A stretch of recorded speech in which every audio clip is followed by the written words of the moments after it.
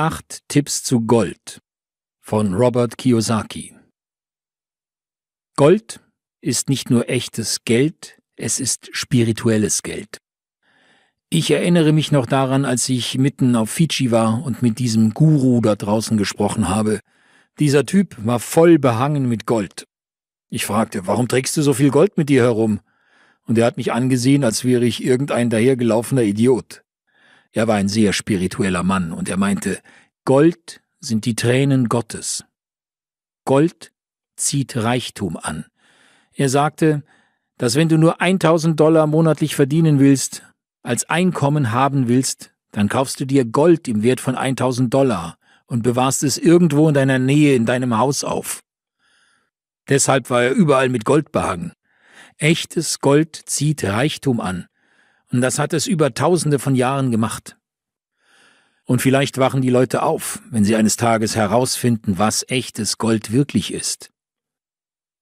Neues Geld ist in Derivate investiert, in Kryptowährungen und Aktien, Anleihen, Investmentfonds und so weiter.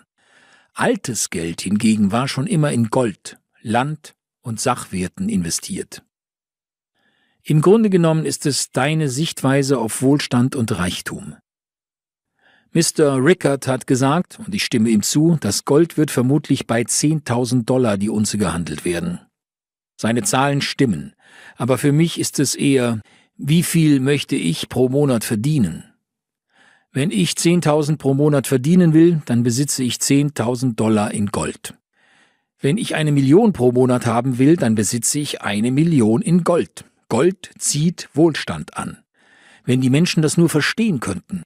Jedes Mal, wenn meine Frau und ich mehr Geld haben wollten, haben wir einfach mehr Gold gekauft und unser Einkommen ist gestiegen. Ich verkaufe mein Gold nicht.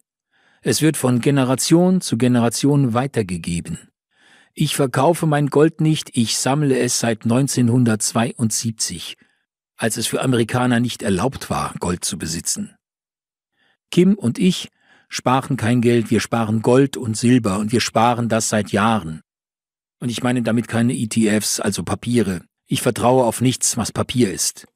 Es ist richtig, wir kaufen echtes Gold, Münzen, Barren, und Silber, echtes Silber. Das ist, was China macht. Sie halten den Preis von Gold und Silber niedrig, dass sie es kaufen können, und sie lagern es. Sie handeln es nicht. Es wird nicht zurück in den Markt kommen. Sie werden es für immer einlagern. Und das ist der Grund, warum die Menge von Gold und Silber, die gehandelte Menge von echtem Gold und Silber weniger wird, denn die Leute verstecken es. Es geht nicht darum, was echt ist, ist Geld fake oder nicht? Es geht in Wirklichkeit darum, was echt ist. Ist Geld fake oder ist es echt? Wenn ich mit Menschen spreche und sie frage, was glaubst du wird hier in 2040 sein? Wird es weiterhin Gold geben? Gold ist seit Ewigkeiten hier. Wird der Dollar dann noch hier sein? Ich glaube nicht. Und wird Blockchain noch da sein? Ich glaube schon. Und das ist, wie ich die Welt des Geldes und der Währungen betrachte. Was wird es in 20 Jahren noch geben? Ich besitze mehr Gold, als ich je zu Lebzeiten ausgeben kann. Wir hatten im Januar 2019 eine Ankündigung, die von Bloomberg veröffentlicht wurde und die besagt, dass die Nachfrage nach Gold und Silber so hoch ist, dass die Zentralbanken seit 1971 mehr Gold gekauft haben. Sie haben angefangen, mehr Gold als jemals zuvor zu kaufen. 1971 ist ein sehr wichtiges Jahr, denn das ist das Jahr, als Präsident Nixon den Dollar vom Goldstandard entkoppelt hat.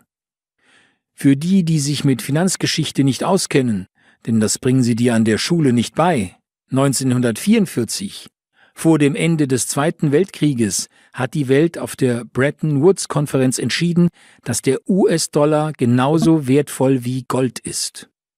Und was 1944 passierte, war, dass der US-Dollar zum neuen Gold wurde. Und die Zentralbanken, die Fed, die europäischen Zentralbanken, die japanische Zentralbank und alle anderen, anstatt Gold zu besitzen, haben sie US-Dollar eingelagert. Als 1971 durch Präsident Nixon der Dollar vom Goldstandard abgekoppelt wurde, haben die Vereinigten Staaten angefangen, Geld zu drucken. So einfach ist das.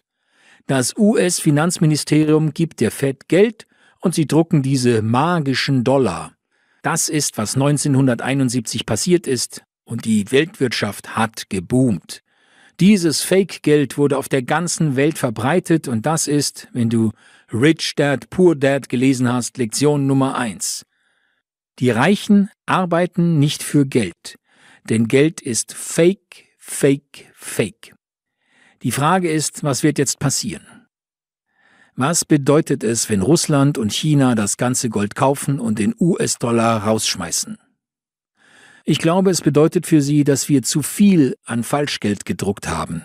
Sie vertrauen dem nicht mehr. Sie denken, es wird zusammenbrechen. Wir haben seit 2008 12 Billionen Dollar gedruckt. Es ist schwer, sich 12 Billionen Dollar vorzustellen.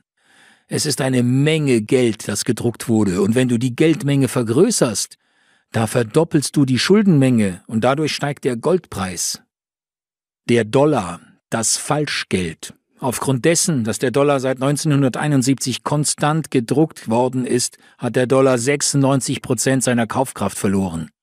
Die Dinge werden immer teurer und ab einem bestimmten Punkt wird es unerreichbar und das Papiergeld wird wertlos. Der Preis wird manipuliert der Preis von Gold und Silber ist manipuliert, er sollte höher sein, aber er wird unten gehalten. Wie wird das gemacht? Normalerweise wird das durch den Papiermarkt gemacht, durch Optionen und Termingeschäfte, wo du einen Geldbetrag nimmst und dadurch nicht das physische Gold, sondern das Papiergold kontrollierst. Und basierend darauf wird der Preis vorhergesagt. Der Goldpreis hängt also davon ab, wie die Optionen und Termingeschäfte laufen. Aber wenn es so sehr aus dem Gleichgewicht kommt wie jetzt, dann dreht sich der Markt für physische Edelmetalle. Das gleiche haben wir kurz vor der Krise 2008 gesehen. Wir haben eine Menge Papier gesehen. Gold und Silber wurden gekauft und dadurch ging der Preis runter. Und 2000 wurde der Preis auf 250 Dollar die Unze gedrückt. Kurze Zeit später ist der Preis wieder um 70 Prozent gestiegen. Die Manipulation kann nur für eine gewisse Zeit funktionieren denn es ist kein echtes Geld und die wahren Vermögenswerte steigen danach wieder auf ihren wahren Wert. Die Frage ist, warum wollten sie den Preis unten halten? Morgan Stanley hat in dieser Zeit über 300 Millionen Unzen an Silber gekauft. Die Strategie ist, niedrig zu kaufen und hoch zu verkaufen.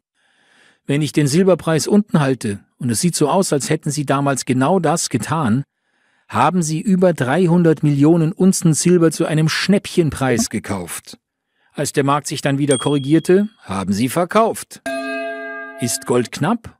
Oder wird immer mehr und mehr Gold abgebaut, immer mehr und mehr Silber abgebaut oder nicht? Es gibt einen Rückgang der Goldmenge, die abgebaut und entdeckt wird. Beim Silber ist das Problem noch schlimmer. Das Angebot ist sehr knapp und die Nachfrage der Industrie ist durch die Decke gegangen. Das hat Mitte 2003, 2004 mit all den elektronischen Geräten angefangen, mit all den technologischen Geräten, wofür Silber gebraucht wird. Das hat alles im Jahr 2003, 2004 mit all den Bildschirmen, Telefonen und Großbildfernsehern und all diesen Dingen angefangen. Dafür haben sie eine Menge Silber gebraucht. Jetzt ist das große Ding die Solarindustrie. Die Solarpanels sind viel größer als dein iPhone und sie brauchen eine Menge Silber, denn es gibt kein Solar ohne Silber. Ich glaube auch, dass in nächster Zeit erneuerbare Energien nicht verschwinden werden und daher denke ich, dass die Nachfrage nach Silber weiterhin steigen wird. So viele Menschen sind in dieser Vorrichtung gefangen. Sie alle sitzen in diesem Markt, in dieser Blase, die Aktienmarkt und Job genannt wird. Die größten Gewinne wurden durch Immobilien, Gold und Silber und durch Öl gemacht. All das sind echte Vermögenswerte. Ein Börsenmakler wird dir das nie erzählen, denn der verdient kein Geld damit, dir das zu erzählen. Sie verkaufen dir ja nur Papier. ETFs, Standard Oil und Gold und Silber ETFs. Sei vorsichtig, und die meisten Finanzberater haben keine Ahnung. Sie haben keine Ahnung davon, was sie dir verkaufen sollen. Doch sie müssen dir etwas verkaufen, denn ansonsten haben sie nichts zu essen. Hören Sie nicht auf den Rat der Finanzberater und Bankexperten. Machen Sie das, was die Ihnen sagen, nicht. Aber die Menschen suchen so verzweifelt nach Geld und Papierwerten, daher kaufen sie kein Gold, Silber oder sogar Edelsteine. Denn sie wollen schnell Geld ausgeben. Die gute Sache bei Gold und Silber ist, dass du ein paar Schritte davon entfernt bist, es schnell auszugeben. Du kannst nicht in ein Geschäft gehen und einen Goldkrügerrand oder Goldbarren auf den Tisch legen, denn der Mitarbeiter hat keine Ahnung, was er damit tun soll, was eine Goldmünze überhaupt ist. Die Menschen überall auf der Welt sind so ignorant in Bezug auf Gold und Silber.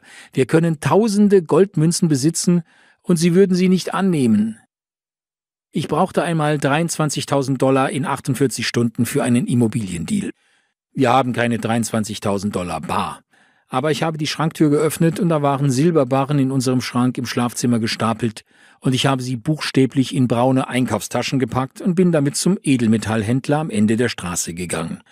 Habe mir das Geld auszahlen lassen und das war, wie wir unser Haus gekauft haben. Wenn ich mit einem Gold- oder Silberhändler spreche, dann stelle ich ihnen ein paar Fragen, wie lange sie schon im Geschäft sind und so weiter. Wie viel Gold und Silber sie haben, ob sie numismatisch kaufen. Numismatisch bedeutet Sammlerstücke, das ist beispielsweise eine seltene Münze. Wenn sie dir eine seltene Gold- oder Silbermünze verkaufen wollen, dann lauf, denn du kennst den Wert der Münze nicht, und bei all den Dingen gibt es immer Fragen, die du dir stellen solltest, bevor du irgendwas machst. Es ist egal, ob das Immobilien, Aktien, Anleihen, Investmentfonds oder ETFs sind. Die meisten Menschen sind falsche Lehrer. Der Grund, warum sie Investment Broker, also Börsenmakler, beziehungsweise Real Estate Broker, also Immobilienmakler genannt werden, ist, weil sie broke, also pleite sind. sie sind ärmer als du. Du musst verstehen, dass diese Leute, wenn sie dir nichts verkaufen, nichts zu essen haben. Und sie werden alles machen, um zu essen, ihren Kindern etwas zu essen zu geben und für ihre Bildung zu bezahlen.